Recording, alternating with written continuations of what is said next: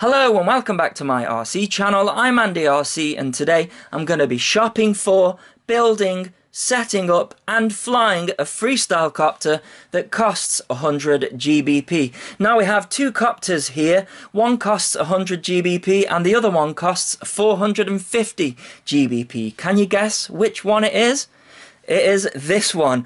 This is my KISS Alien build and yeah, it was expensive. And when I did my video on it, people got very angry. I think it was because they thought they got clickbaited because I said it cost $2,300 and that is because I included the transmitter, the crossfire, the HDOs and I also think people got angry because we want people to get into the hobby. And when you see a figure like that, you just think, forget it. And that was not my intention of that video. In fact, my intention was this video because this copter costs 100 GBP and it has got exactly the same specs as this one. So we have got two 306 2500 kV motors.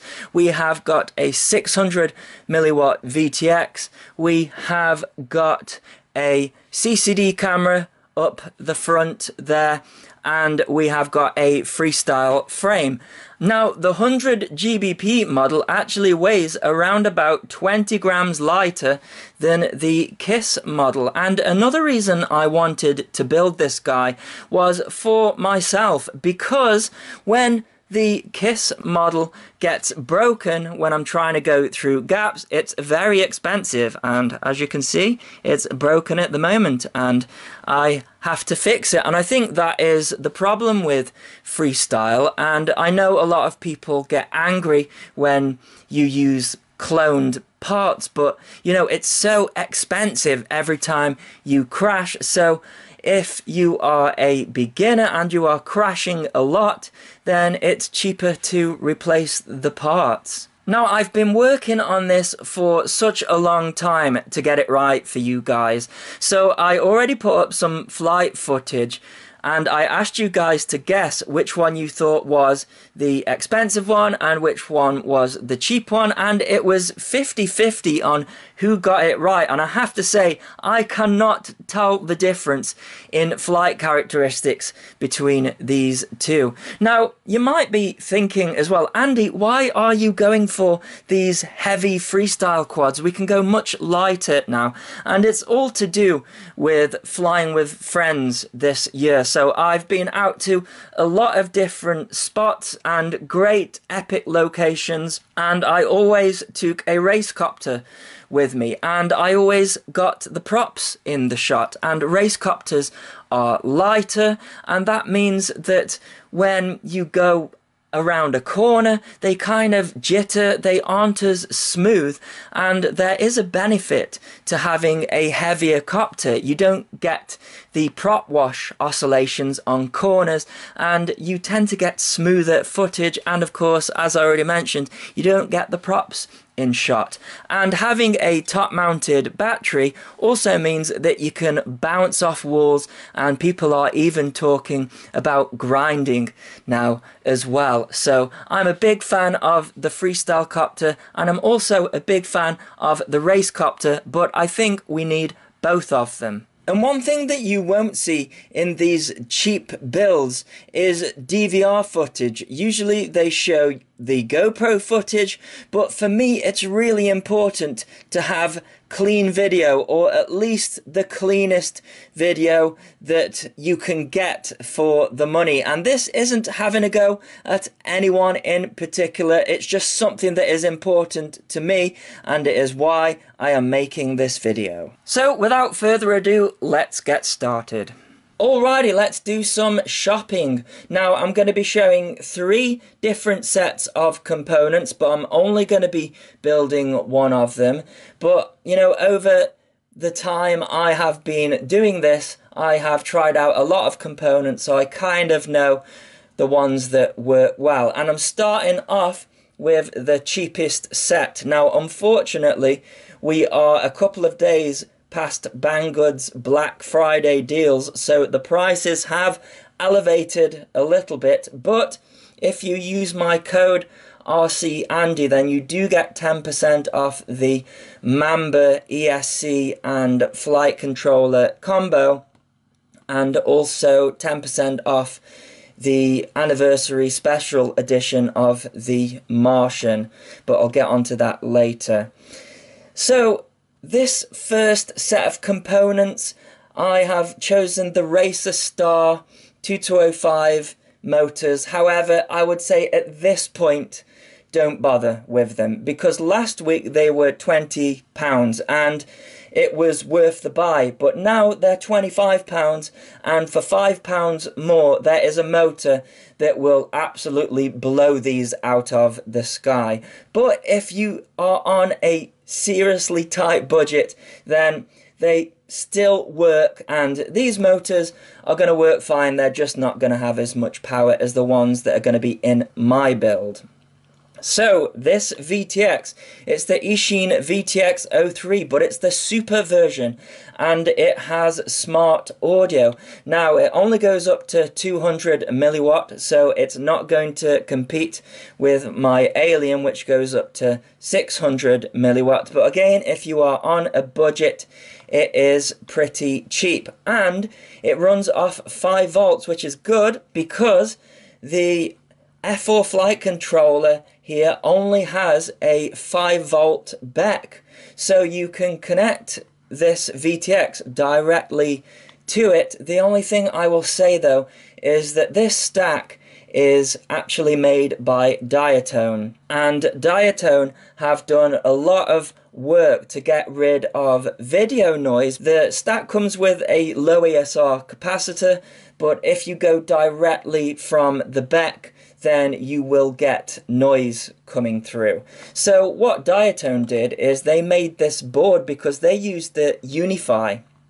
And this board eradicates all noise completely with the Unify. It's fantastic. And it's very cheap as well without the Unify. Now I can't confirm whether this is going to clean up the noise with the VTX 03, but I thought it'd be worth a mention if you want to go down that route. Otherwise, I do think you are going to get noise plugging this directly into the 5 volt of the flight controller. So, the camera. For me, it's really important to have a decent camera, so I've chosen the HS1177. It's been around for ages. It is the V2 version and it's very cheap, £15. I personally wouldn't go for one of the really cheap CMOS cameras. They are just terrible and you can actually get this in a micro version, but I go for the full size version because it's going to fit the Martian frame better. And the micro version though is the same price, but you'd have to get an adapter. So the frame, very controversial because the Martian is a clone of the Alien frame. However, this is the anniversary edition and it's the 215mm version. And I think now it is different enough to say that it is inspired by rather than a clone. But if you are against cloning completely, then there are some other options now, especially from Team Black Sheep. They have the Source 1, which is $26, and it's a freestyle frame. And then the Rotor Riot have got the CL1, and that's $34. So, if you are not into this anniversary edition, then you have those other options, but £16 there, and then with the coupon as well, that is just really cheap. And the quality now compared to the original Martian is absolutely fantastic. And I cannot tell the difference when flying this copter against the expensive Kiss model. So that is why I have chosen the Martian. Right, so the next one is the one that I'm going to build and there's actually only a couple of changes. So I'm choosing the Samguk 2306 2500 kV motors. They are just absolutely fantastic. They are smooth as they have got a naked bottom, absolutely fantastic. And you know, on my Kiss build, I think the motors are 16 quid a corner. These must be, what, six, seven quid a corner? Absolutely fantastic. And then for the VTX, I'm using the iFlight Force VTX 804.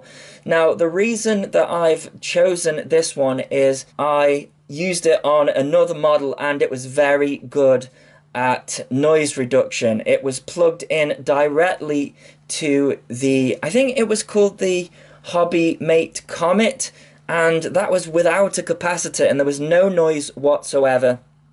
And it's 600 milliwatt, and it gets very close to that. I think around about 562 milliwatt on my power meter, and it also comes with a extension cable. It's actually not this cable, it's an SMA cable that it comes with.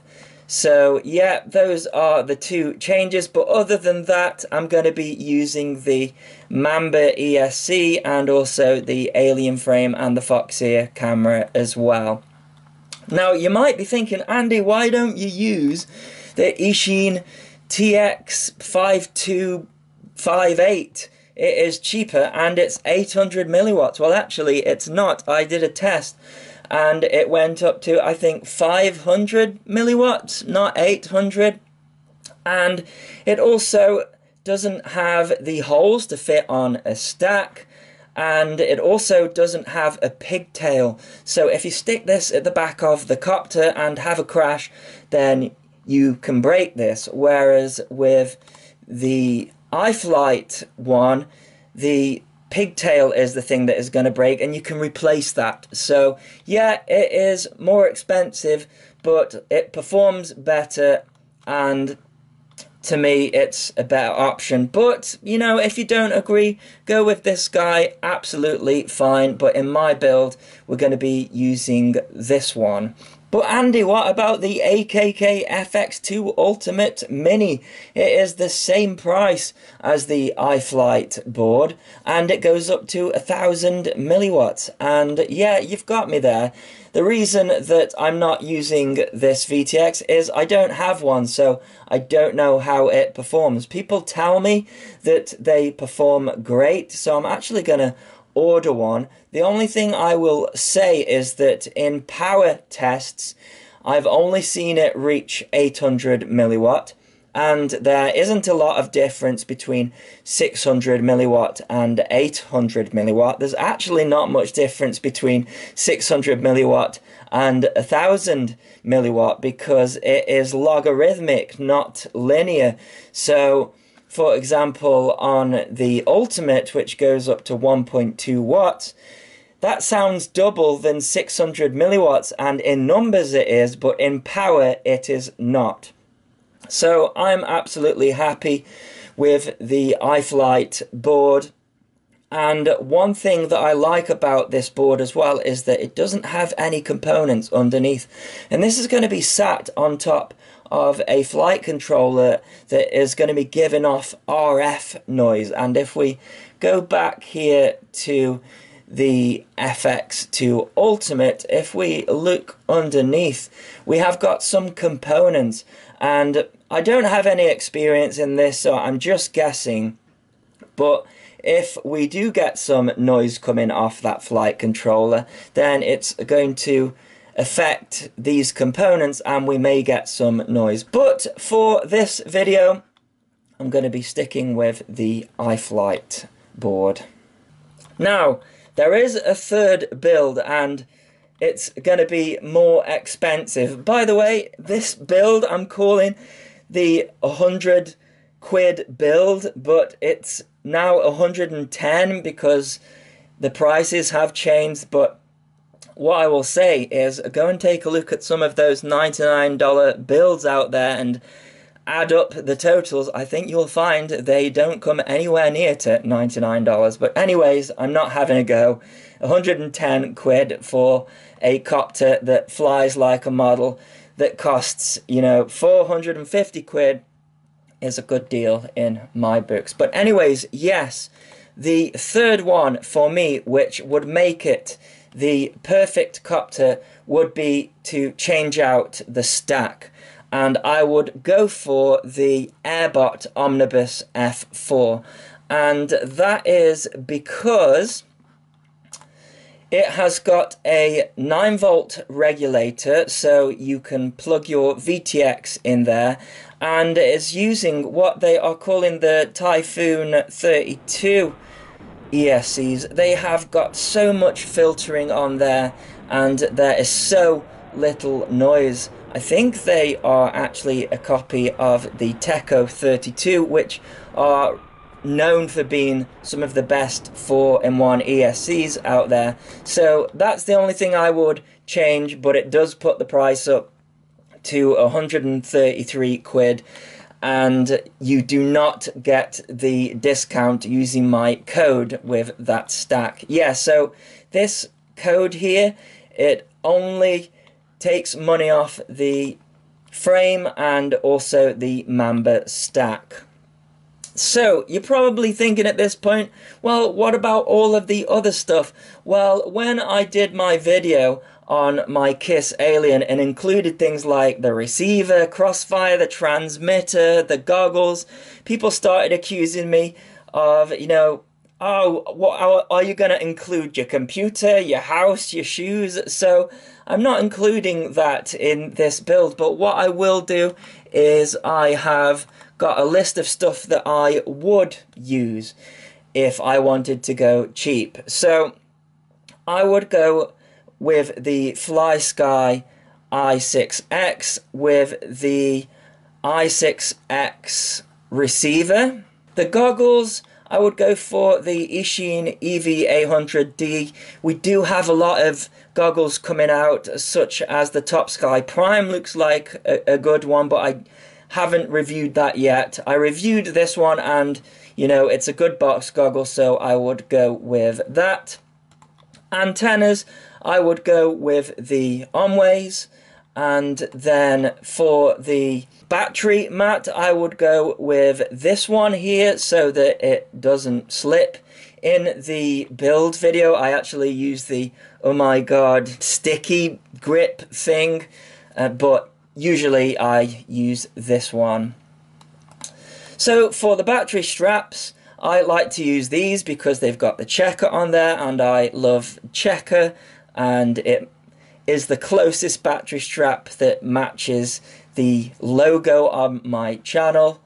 And then for the props, I actually like to use these wizard ones, but they are the Dal Cyclone, they are the T5046, but you can't get them in the clear edition anywhere else other than if you buy the Eachine Wizard ones, which is a shame. So, you know, you can get them cheaper if you don't want them clear, but I like to have them clear because if you use SuperView, you can sometimes get the props in shot slightly, and if they are clear, then you can't see them as much. So, for the GoPro mount, I always use Brain 3D, and they do one for the Martian, and it fits the anniversary edition. Now, I haven't used that in this video because it hasn't turned up yet. In fact, I think I used one for the floss, but yeah, they are some of the best, and I'm going to be picking the violet one. Now, I changed out the low ESR capacitor that came with the Mamba ESC. It didn't make much of a difference, but I like to use the Panasonic FM series, the 1000 microfarad 35 volt. I get these from eBay. As I say, it didn't make much of a difference.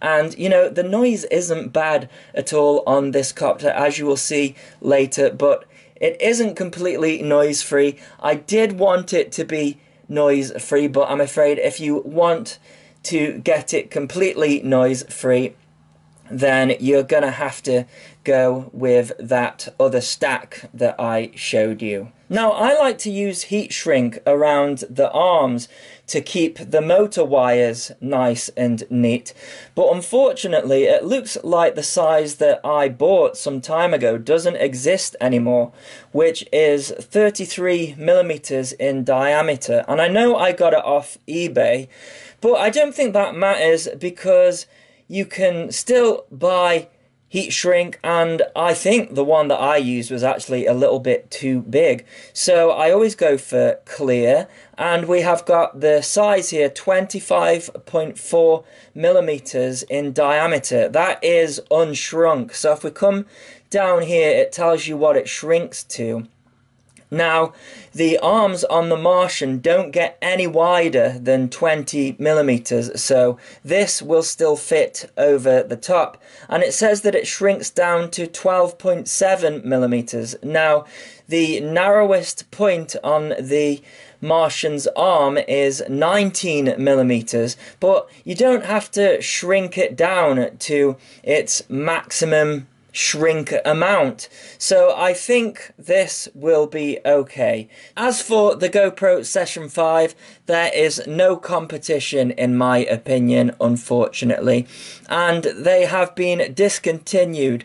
Now, I usually search on eBay for refurbished ones, and I actually got a great deal. I think I bought three of them at a hundred pound each, and I found this one on this website here, 114 pounds. I might go for that. But sadly, as they become rarer and rarer because they're discontinued, the prices are going up rather than down. I would also recommend that you get a tempered glass screen for it as well. So when you hit something, it is that that breaks and not the GoPro. And while I'm here, I might as well mention you're going to need a charger. I've used this one in the past. It's really cheap. It is the Charsoon DC 2 to 4S charger and it comes with a AC power pack so you don't have to have anything else like a power unit to power up. You're gonna need some batteries. Now this model is going to be drawing some very high amps. So I recommend a 1500. I don't think a 1300 will be able to cope with it. In fact, if we go to the calculator here, so yeah, I use these GNB batteries, by the way, 1500, but it's very difficult to get them in the UK, so I get them off eBay rather than Banggood. But sometimes it's better to source batteries locally as well. It can end up cheaper. But yes, the reason why a 1300 is no good, and I use these Funfly batteries by Tattu as well. These are pretty cheap. But if this copter is drawing 137 amps around about there, if we go 1300 times by 100C, which this one is, that is 130 amps. So you're going to get a bit of battery sag there. But if we take a 1550 and times that by 100, we have 155 amps. So that is going to be much more suitable for our amp heavy copter.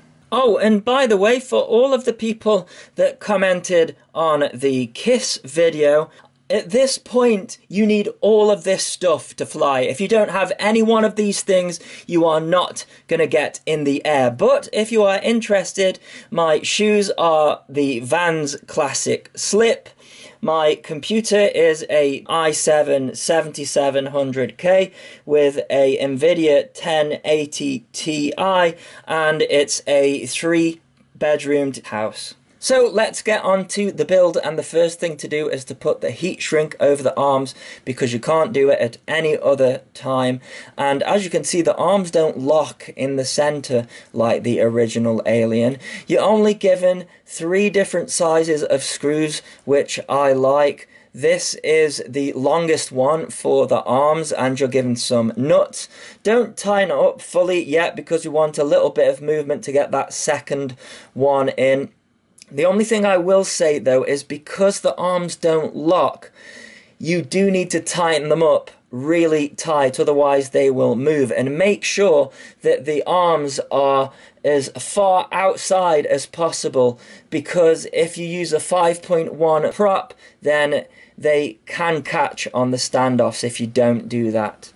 The next thing I'm doing is taking apart the stack so that we can fit it through the frame and you can see we just have this wire here so I'm gonna disconnect that and these are the slightly shorter screws for the standoffs to sit on and they give you some nylon standoffs that fit as well. Be careful not to have them too tight because it's metal going into nylon and you can ruin the thread. That's all of those that have gone in there and then you're given these o-rings so I'm putting those on there and then the ESC board fits on the top of there. Make sure you get it the right direction.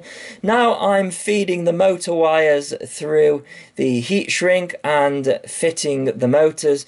These are 2.5 mil hex screws so you need to use a different tool for that and that is all of those that have gone in they aren't directional so you don't need to worry about that and now I'm tinning up the ESCs now they recommend that you tin up the underside of the ESCs because the nylon standoffs are difficult to screw in. They get in the way of the solder. But I found a little bit of force and it wasn't a problem. And it's more difficult to solder the wires from the underneath. So now I am cutting the wires to length and tinning them up. We've got silicon wires despite the price, which is just fantastic. And yeah, cutting all of these up and stripping them here. Be careful not to melt the standoff when you are doing it, but the other two are actually quite far away from the standoff. But yes, need to tin it up and then solder it in. And I do that for all of them. I'm not going to make you watch me do that, so that's the last one going in there. Now, I'm cutting to length the low ESR capacitor and I'm tinning that up, but I end up using a different one and now I'm using a spare bit of cable that I've got. It's got the wrong connector on it, so ignore that, but I don't have any 14 gauge wire. I think this is 12, so it's a little bit thick, but it was still fine. So just soldering that on to the back there and now soldering the capacitor on. The line on the side is the negative side, so make sure you get that right, otherwise you will get a bang. So now I am removing the standoffs from the flight controller, and as you can see, it's a bit of a struggle to screw them in to the ESCs and then the flight controller fits on the top there and it plugs straight into the ESC board. So I'm using the RXSR and I'm removing the S-bus in wire because we don't need it. But one thing I forgot to do was to remove the S-port pin and solder it to the uninverted pad on the receiver. You need to do that because it is uninverted on the flight controller and you'll see later where I do that. But yeah, I'm using my own heat shrink here and it just plugs in on the RXSR there. So I'm actually using hot glue to fix it in place. Don't use hot glue, it's rubbish on carbon. Use a cable tie like I have here and you can see we've got the yellow S-port wire also soldered in there now as well. So now I'm tinning up everything on the board. This is actually for the receiver to go in there and I'm feeding the cables through and also underneath the flight controller so that I can have it nice and neat. Then I'm cutting them to length. The yellow wire, as I say, is the S port, a little bit confusing against the others. The green is the S bus and just tinning that up there and putting that into place with my shaky hands and some tweezers. And then this is the 5 volt going in there and then this is the ground that I'm cutting up and tinning it up and then soldering that into place as well. So this is the board and the PPM pad we can ignore unless you're using a PPM receiver. The RX one is the inverted S bus and then we have the TX6 for the smart port that I used, and we've also got a 3.3 volt there as well for DSM-X.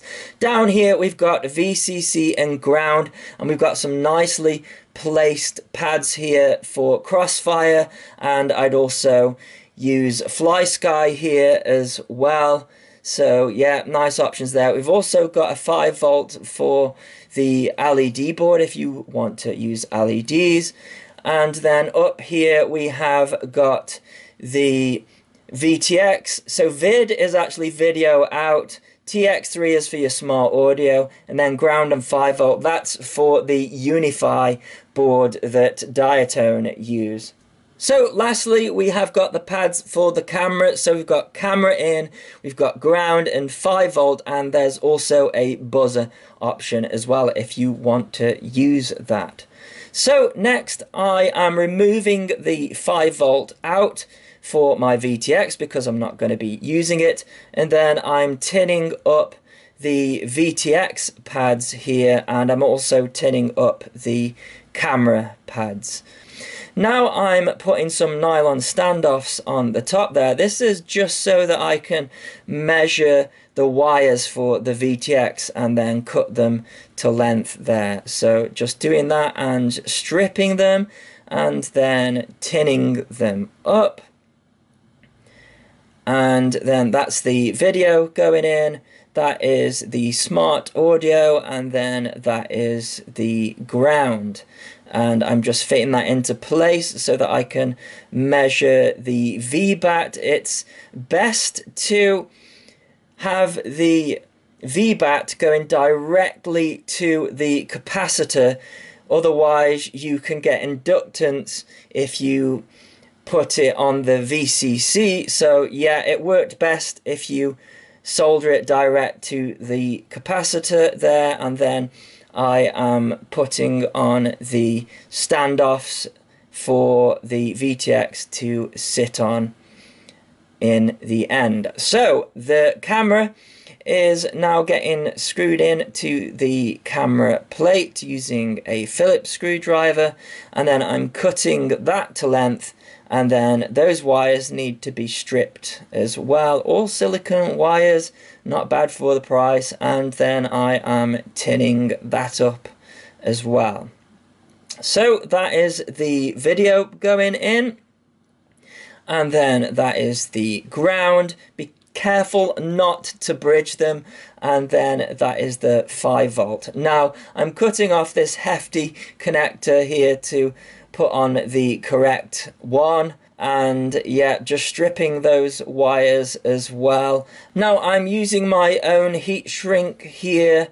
And this is actually the XT60 that they give you in the package but the wires sadly aren't long enough to come out of the side which is why I've used my own cables. Just tinning that up there and then putting the heat shrink over the top.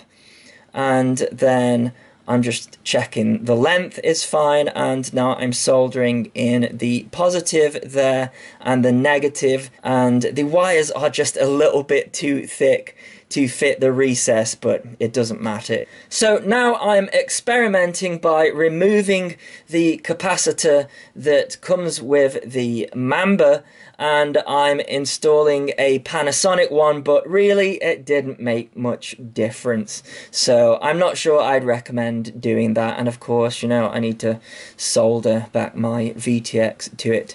Now, Diatone also use these 47 microfarad low ESR capacitors on the 5 volt and I thought I would try it to eradicate noise but it didn't do anything so don't bother doing that unless you plan on using the diatone board. So these are the nuts that are going on the top of the stack there for the VTX and now I'm screwing in the standoffs so that the top plate can fit on the top. And the screws are so much better quality, and so are the standoffs as well. I was really, really impressed with it. It's a little bit awkward with the camera hanging at the front there, but yeah, just hand tighten them for now, and of course, later you need to tighten them up with a tool.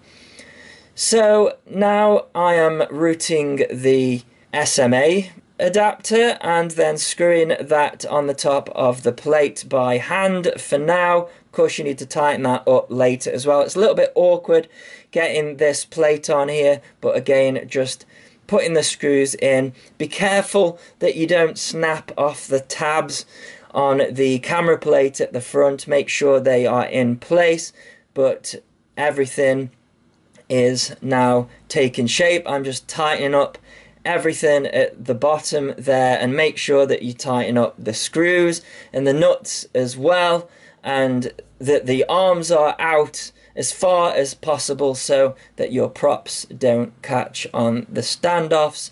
And yeah I am now getting very close to finishing the build just using a candle lighter to sort out the heat shrink and holding the motors nice and neat there and I'm now using a socket set to tighten up the SMA connector at the back and make sure you put your antenna on before you power anything up. Very important otherwise you will destroy your VTX and now I am using some cable ties for the RXSR I actually got really poor RSSI values with the RXSR, and I find that, and they tell me it's because it works differently with the DB, so don't worry about it.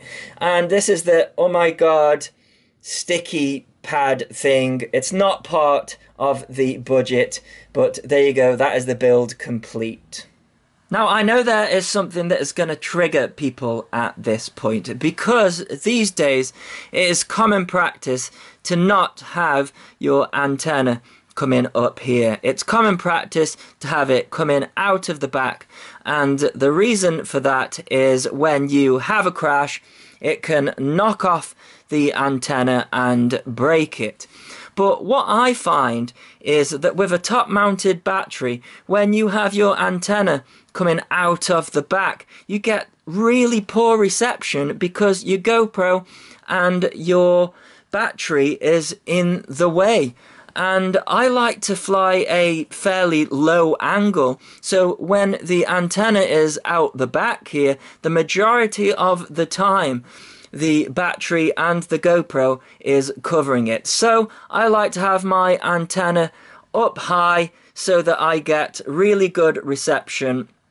And if it hits something or breaks, I have got a pigtail here, so I don't mind replacing that. In fact, that has happened. It has never broken the plate so far. It's only ever broken the antenna.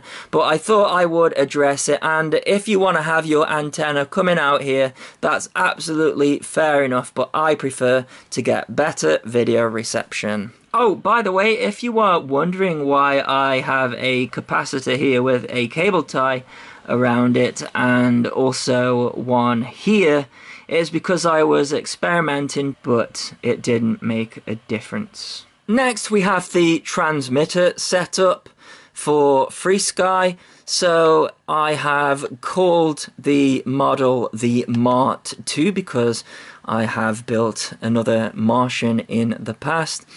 So what we need to do is we need, well, we need the external RF turned off. We need the failsafe at no pulses and then we want the channel range as 1 to 8 because it gives us the lowest latency and then we want D16. Now to bind you're going to want to press this button here and you're going to want telemetry on if you are using the RXSR and you're going to want telemetry off if you're using the XM series because well it's pointless because it's not a telemetry receiver. At the same time, you're going to want to plug in the battery of your copter while at the same time pressing the bind button, which is very fiddly, and then you're going to want to press exit out of the bind option. So once you have done that, what I would do next is discover the sensors. So if we page back here, I've already done it on this one, but if you plug the copter in and press discover sensors and you're using telemetry, then you should get all of your telemetry information. I do this just for the RSSI so that I can output it on channel 8 and I'll show you how to do that and that is so that we can have it on the on-screen display so if I just exit out of there and then page over to the inputs I have got it on channel 8 so if we go in here like so and I think I called it R actually but for some reason it's deleted it and if we check out the source, then you can select RSSI now. If you don't discover sensors first, then you won't be able to see RSSI. You also need to set the scale to 100 dB and then if I exit out of that and go into the mixer I will go down to channel 8. I'll show you how I set the switches up as well, but I'll show you this first. So if we're going to edit, you can see the mixer name that it's selected is R, and you need to change the weight to 200 and the offset to minus 100 and then that will output the RSSI value on the AUX4 which we will select in Betaflight later. Okay, so the switches, so channel 5 here, and this is in the mixer screen still. If I go into there, I call my arming option A because I'm too lazy to type ARM and then in the source if you just press enter you can select the switch. I have it on this two position switch here and that's that sorted. So the next one I have as my modes and again I just put M because I'm lazy. And then the source I have on this switch here like that and it automatically selects it. And then lastly on channel 7 I call that B for buzzer. And it's going to be DShot commands for this copter but it will still work and is very loud. And I have that on this one. And then if you want to do Lua scripts you're going to want to download the Betaflight Lua script and install it on the micro SD card in the scripts section and to do that you need to put both of the trims in on there and then switch it on. It'll go into bootloader mode. You can plug in your USB connector and you can do it that way or you can take the SD card out there and of course in order to get the Lua script working then you're going to want to page over again and then where it says screen 1 under script select BF Lua so if we now long press the page button, you can see I now have my PIDs on there and I can go in and change them if I want. And if I press the menu button, we've got other things such as our rates that we can change and, you know, all sorts of other settings like that. In order to set up the i6X for iBus output, I just need to set the output on the transmitter to ppm turn the i6X on and then long press the OK button and then press OK again to go into the system menu. If you go into model select you can see I'm starting on model 1 but if you want to change the model you have a 20 model memory to select from. Any option is only ever changed with a long press of the cancel button which I find annoying. You can change the model name as well, but I'm being lazy and leaving it default for this video. It's important to name your models though, so you know which one to select when you want to change models. The model type doesn't really matter, but you can change it to helicopter here by using the up and down keys. You are going to want to navigate down to RX setup and then down to output and select PPM. I've also set the serial RX to iBus you do that by pressing on the OK button again and then use the up and down buttons to select the correct option. Remember, to save you have to long press the cancel button. If I now press cancel out of that menu, I can go down to the aux switches. You need to make sure that all of the switches are turned on and the channel selection number is set to 10 now, if I cancel out of there and go into the setup menu, I can navigate down to the auxiliary channels or aux channels. I want to arm on switch A for arming, and then the other three position switch for my modes. I'm going to use switch C for that. The other two switches on this transmitter are two position switches, and of course we have the two potentiometers as well. So, in the menu I can use the up and down keys to cycle all the switches and dials. For channel 5 I'm selecting switch C and then I can press the OK button to move down to channel 6 and here I can select switch A for arming. And if you want to add a switch for a buzzer, you just page over and do exactly the same thing there. And again, remember to long press cancel to save the options. Lastly, I'm going to set up my failsafe, and this is something that I don't like about this receiver. It's got two buttons on it.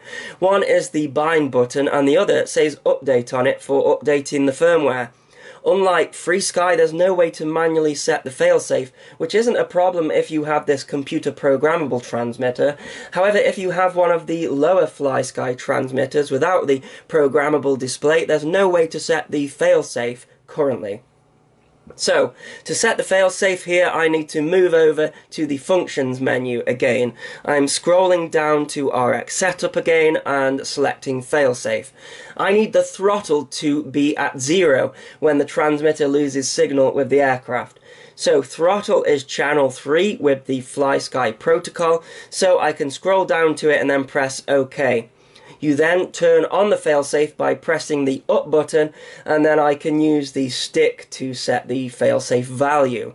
I want it to throttle to zero here so I'm leaving the stick at the bottom. Then I'm going to long press cancel to save it. I also want the quadcopter to disarm when it loses signal, so I need to scroll down to channel 6 and again turn the failsafe on with the up button, then have my switch in the off position and long press cancel to save the setting. You need to long press cancel again out of that menu to save any of the settings, which is annoying, so don't let it catch you out like it has done me many times. Everything is now ready to bind the receiver. First, I'm going to turn off the transmitter. Then you have to hold down the bind button on the receiver while powering on the quad. It's always a tricky one to do. Once the receiver is flashing, then I need to hold down the bind button on the transmitter while turning it on. You need to make sure that you've got the right model selected while doing this as well. The i6X should beep and the receiver light will go a solid red. Underneath is a built-in voltage sensor, so you can connect that directly up to the VBAT of your quadcopter if you wish, and you will then get the voltage telemetry on your main screen of the transmitter. Again, you have a servo connector for that, and I believe it will take up to a 4S.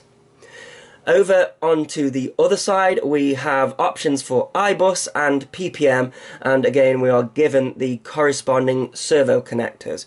iBus has a lower latency than PPM and PWM, with latency being the delay between your hands on the sticks and the signal reaching the receiver iBus has a latency of around 7.5 milliseconds, while PPM and PWM has a latency of around 22 milliseconds. So let's go through the Betaflight setup. You get the configurator from the GitHub website, and at this point, you're going to want to plug your USB cable into the computer and the quadcopter. There's no need to plug the battery in yet. And the first thing that we're going to want to do is update the flight controller to the latest version of Betaflight. So you go into firmware flasher and for the Mamba ESC and FC combination you want the Fury F4 OSD. Then under here, you're going to want to choose the latest version of Betaflight. Now, unfortunately, since I started doing all of this, there has been a newer version of Betaflight. But seeing as I've already done all of the setup, I'm going to stick with this. I always choose full chip erase, and that is because when they update Betaflight, they sometimes change the command names in the CLI. So if you've got an old CLI dump that works well and you want to use it, sometimes you'll paste it into the CLI command line part and you'll get a load of errors. So I usually just do full chip erase and start from scratch. So next we need to go down here and load the firmware online and then flash the firmware. Now, if everything goes well, this will start moving along and it will flash and verify. If you get an error up here that says something like serial, it's not because it's failed to go into the DFU flashing mode. It's usually because there's a driver problem. So what you need to do is get a program called Zadig. You need to go into the options and click list all devices and then in here you should see something called STM32 bootloader. Now, because I'm not in DFU mode here, I don't have it. But what you need to do is click that and then press update or replace driver. And then this is really important and it's a step that a lot of people miss. Once you have done that, you need to unplug the USB and plug it back in to the computer. And then when you press flash firmware, it will go into DFU mode. If you keep the copter plugged in, then it will continue to not be in DFU mode properly and it won't flash. So let's connect to Betaflight. So the first thing I'm going to do is go into the ports tab. So I'm using SBus, so we are on serial RX on the UART1 and then I have used the UART3 for the smart audio which is IRC Tramp. I've also got SmartPort on the UART6 for the telemetry output. If we go into the configuration, I've got it set to DShot 600. This is a BL Halley SESC, so you can't go any higher than that. And I always set the motor idle speed to 6% to stop flips of death happening and I always have motor stop off as well. Now if we come down here I have got the gyro update frequency and PID loop frequency set to 8K and 8K because this is an F4 so it should be able to deal with it. In fact the CPU load you can see down there very low. The maximum arm angle now for a beginner I would say leave this at 25 what it is is the angle at which the copter needs to be to arm. So if it's at a tilt of more than 25 degrees, then it won't arm. It's for when you're carrying the copter and it's plugged in, and if you accidentally hit the arming switch, then you know it won't cut you up. However, it does have a downside. If you are stuck in a tree and you disarm, then you can't rearm it to try and wiggle it out. So what I do is I set it to 180 and I take the risk. So if we come down here, personalization, I've just got as Andy RC. The receiver, so we have got serial based receiver here and then S bus. And of course, if you're using anything else, we've got iBus, we've got CRSF, we've just got absolutely everything supported there. But of course, I'm using S bus here. So if we come down here, I actually haven't got dynamic filter turned on and it's flying superb so I have left it. I've got anti-gravity on and OSD obviously and then air mode and telemetry for the RXSR and if we come down here because I didn't install a buzzer we've got RX lost and RX set and that is everything on there. I'm going to save and reboot that actually so that I can save that change that I made. So let's reconnect. So power and battery, I have got both as onboard ADC. I did change the minimum cell voltage to 2.9 and I changed the warning cell voltage to 2.9 as well. The maximum cell voltage you might be confused by is set to 5 and that is because when you add capacitors to a copter and I've done a lot of experimenting with this what can happen is when you plug the battery in the voltage actually shoots up higher than 16.8 volts. It can go up to 17 sometimes, 17.5, and then it reduces. The voltage meter was just out a little bit. The default scale is 110.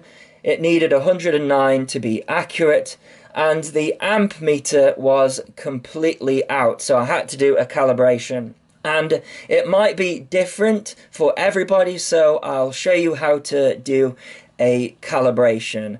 So I did a flight which I have got here and I used a 1500 battery.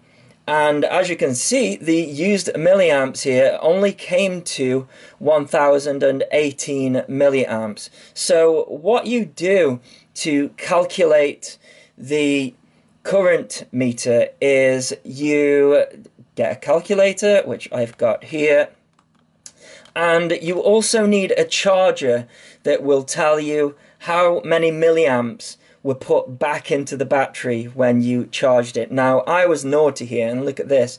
It went down to 9.3 volts. So when I charged the battery back up, it showed 1600 milliamps. In fact, I think it was 1630. And what you have to do then is divide that number by the number on the on-screen display, so 1018, which gives me 1.6011. I, I'm going to copy that. Then what you have to do is I'm going to clear that.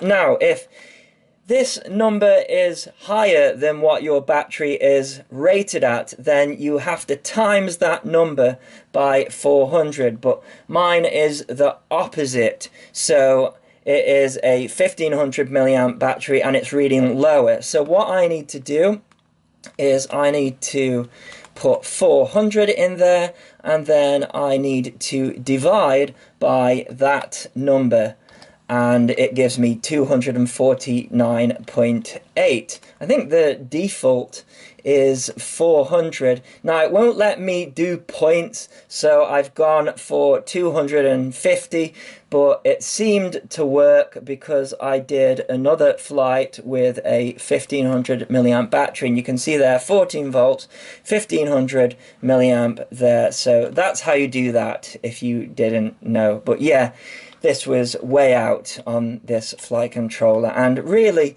the only downside. So failsafe, you always need to check that the failsafe works and we'll get onto that in a bit. So if we go into PID tuning, I think these are the stock PIDs. The great thing about Betaflight is that the stock PIDs are designed for a 5 inch copter that is a freestyle model and is carrying a GoPro and it flew just absolutely perfect. The only thing I changed was my RC rate and the super rate and a little bit of expo in there as well. I didn't touch any of this down here whatsoever and I didn't touch the TPA either. And that is everything in there. So if we go into the receiver so yeah, I'm using a Taranis, so T-A-E-R for the channel map, and then I set up the RSSI on channel 8, so that's aux 4 there. I put some RC deadband in there as well. So modes, I have got arming on the aux 1, and then I've got angle on the aux 2 over here and acro and air over here. And then I have got my beeper on the aux 3. I don't use turtle mode, I mention this all of the time, but if you are stuck in the grass and you use turtle mode and a motor gets stuck, you can burn out an ESC. It's not worth it, in my opinion. Disarm, go and collect the quad unless you're an avid racer and obviously it's going to affect you know the results of your race right so if we go into the motors tab because we don't need these whatsoever and this is where we need to check the motor direction. So at this point we want to plug the battery in. So you click this here and I'm just gonna plug in the battery here. And then what I'm going to do is lift up the master. And if you touch each one of the motors it'll tell you which direction they are going and they should be going in this direction here where the arrows are and we'll go into BLHeli Suite a little bit later and change the direction. But while we are here, what I'm going to do is turn on the Taranis and we will go into the receiver tab and you'll see I've got everything working there. I'm going to arm it and then I'm going to turn off the transmitter and the motors have stopped. It's very important to check that the failsafe works and you can hear the motors beeping because the RX has been lost. Right, so that is that covered, but if you want to change the direction of the motors, I'm going to plug the battery back in, and what you need to do is we need to disconnect Oh, I'll turn the Taranis back on, otherwise it's gonna keep making that noise. There we go. Right, you need to disconnect from Betaflight because it uses the same COM port and the pass-through of that COM port to get to the ESCs. So if we disconnect here, you're gonna need to use BLHeli Suite and this is the non 32 bit version. There are two versions, so be careful. And I'm going to connect to it, and then if we do read setup, so I had to reverse ESCs 1, and also I had to reverse ESC 4, and I soldered everything straight. So if you did that, then you'll probably have to do the same as well but once you have, you know, selected the right direction, then you can press write setup and of course you can go back into Betaflight and back into the motor tab. Make sure you disconnect again, by the way. And again, I'll stress, props need to be off for this. So if we just go back into Betaflight now and then connect to it and go into the motors tab, tip this thing there. Then I can touch the motors and they're all going in the right direction. So that is absolutely fine. So next, OSD. This camera is actually the NTSC one. So I have got the RSSI on here. I have got the VTX channel because I find that really helpful when you've got smart audio. I've got the battery voltage, and then we've got the current draw, we've got the craft name, and then we have got the flight time and also the milliamp draw. And of course, you can put on there whatever you want. I've turned a couple of things off down here as well, such as max speed, because we haven't got GPS or anything like that. And that is everything in Betaflight. I will just show you the version here so you can see that it is the Fury F4 OSD and this is version 3.52 and that is the setup. So let's take a look at some flight footage and as you can see the video feed is pretty clean. There's a little bit of noise. I did so many experiments trying to get rid of that but the only thing that did it was adding Diatone's board and the unify and that is out of the budget so i hope you enjoyed this video and found it useful this flight was actually taken before i calibrated the current meter so that is showing wrong however when I did full throttle on other flights, it showed 137 amps. So yeah, it is really pulling the amp. So make sure you have a decent battery. And I've chosen this day because it is the sunniest. All of the other flights that I did were really dreary and just did not look great on the footage at all through the CCD camera. And I will leave you with some flying. This video has taken around about a month to put together, so if you can afford to do so, I'll link to my Patreon in the below. And as always, thanks so much for watching. Please continue to subscribe. Cheers.